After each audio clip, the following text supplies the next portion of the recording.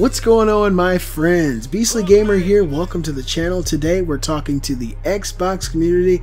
I'm an Xbox One gamer. I enjoy playing games on my Xbox One. I'm also a PlayStation 4 gamer. And I want to bring you guys news on a very, very popular, incredible game that's actually available in the demo form on the Xbox One. Resident Evil 7 is now available to download and play on your Xbox One. So if you've been waiting to play this game, I implore you to download it right now. It's incredible, very fun. I think this is going to really turn the uh, Resident Evil community on its head. I'm loving it. I think it's really amazing. I can't believe what Capcom has kind of done with this reboot, taking Resident Evil in a completely new direction. I don't know how to describe it. It's really hard to describe what's happening inside this house, this old dilapidated house with this insane redneck family that appears to be superhuman in some kind of way, that they don't feel pain but they inflict tons of pain upon people. Kind of reminds me of Resident Evil 4 Los Plagas. They're just a really messed up group of people. I don't know exactly how zombies are going to come into play in this new Resident Evil game, but it's really an awesome game. So if you're an Xbox, definitely download it now. I'll drop a link in the description. Public service announcement Resident Evil 7 demo out now on Xbox One. Horrifyingly good news for Xbox One users. PS4 users have had access to it for a while already, and now Xbox One users can jump right in. The Resident Evil 7 beginning hour demo launched this week on Microsoft's console, giving a suite of new users the opportunity to try out the horror game.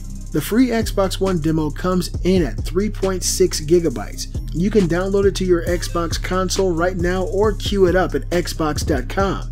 Here's the demo's official description. Quote, You wake up alone on the floor of an abandoned farmhouse. Daylight is quickly fading. You must find a way out. A thrillingly immersive horror experience for the five senses. This full model change to the frightening, quote, isolated view, end quote, player perspective, and photorealistic graphics of the cutting edge RE engine mark a new beginning for survival horror. Enter a terrifyingly new world of horror and survive. The demo comes to PC on December 19th. In other Resident Evil 7 news, Capcom said this week that it hopes the game will sell 4 million copies on its first day. Resident Evil 7 launches on January 24, 2017 for all platforms. That's just a few days before the new movie, blah, Resident Evil The Final Chapter comes out in theaters on January 27.